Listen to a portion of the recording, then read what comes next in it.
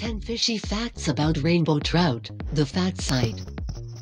The rainbow trout was first properly identified and named by Europeans in 1792 thanks to the German naturalist Johann Julius Walbaum. Like all trouts, the rainbow trout is part of the same family as salmon, which is called Salmonidae. The rainbow trout is native to a very small region of the world, which includes the west coast of North America and the Kamchatka Peninsula of Russia.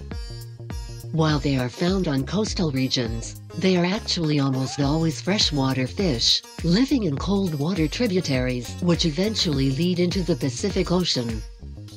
All that said, rainbow trout can now be found all over the world, and are bred specifically for both food and sport.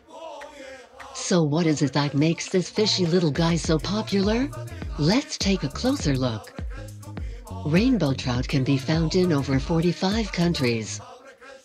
As previously mentioned, the rainbow trout is only native to a very specific region of the world. So why are they found all over the world now? The answer is quite simple, they're incredibly easy to raise in fish farms, and are very adaptable to many different environments. They're not only good for eating, but can be a great challenge to fish for sport. Some rainbow trout prefer to live in the ocean. Technically, they're actually a subspecies of the rainbow trout. These ocean-loving cousins are referred to as steelhead trout, instead of rainbow trout. So why are they called steelhead trout, and not rainbow trout? Well, their scales take on a more steel-like sheen due to their life in the ocean. Steelhead trout are born in fresh water, and then will live most of their lives in the ocean. Interestingly, they will always return to fresh water to spawn their eggs. Rainbow trout always end up returning to their birthplace. One of the most interesting facts about rainbow trout is that they will always return to the area they were born when it comes time to spawn their eggs. For most species of rainbow trout this is a relatively simple process, as they tend not to stray far away from home. For other subspecies, like the steelhead trout, this is a serious endeavor. Rainbow trout can lay thousands of eggs at a time, when it comes time to spawn their eggs, female trout will find a bed of fine gravel in a calm, but shallow area.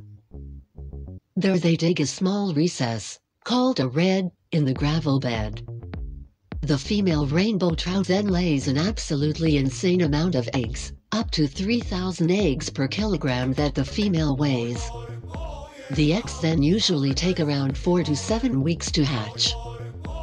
Rainbow trout are predators, Rainbow trout have been known to eat nearly anything they can lay their jaws on. The main part of their diet is made up of various aquatic insects, feeding on the larval, pupal, and adult forms. They are also known to eat land-based insects that are unlucky enough to fall into water nearby. Other than insects, rainbow trout are known to hunt other water-based life. This ranges from fish smaller than them to fish eggs, crayfish, and shrimp. They're certainly not picky when it comes to mealtime. Rainbow trout have been farmed for food since 1870. The practice of farming rainbow trout for commercial practices has been going on since the late 19th century, beginning in the U.S. The largest producer of rainbow trout is surprisingly not the U.S. though, it's Chile. Commercial rainbow trout farming is no small-scale industry either, with 666,592 tons of the fish harvested globally in 2007. Rainbow trout are an invasive species. Rainbow trout are highly in demand, and as such they are found in fish farms around the world. As is always inevitable with such large-scale demand, these fish unfortunately found their ways into the surrounding streams, rivers and waterways. Due to their predatory nature and ability to live in almost any condition, they quickly started hunting native species to the point of endangerment.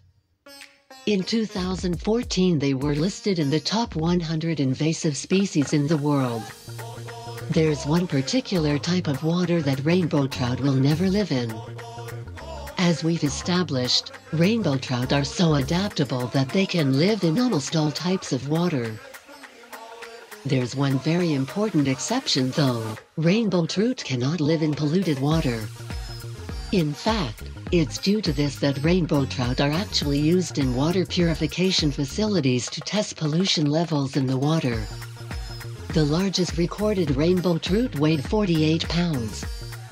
In 2005 a man by the name of Sean Konrad caught the world record-breaking fish in Lake Diefenbaker, in Saskatchewan.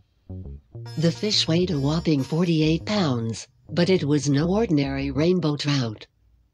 It was actually an escapee from a nearby fish farm where they genetically modified their trout to increase size and weight. There are 15 known subspecies of the rainbow trout. There are so many different subspecies of rainbow trout that it's necessary to separate them into different forms.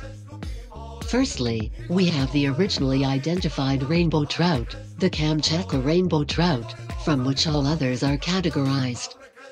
There are then two types of coastal forms, seven types of red band forms, three types of Kern River golden trout forms, one Mexican form, and then a mutated form called the golden rainbow trout.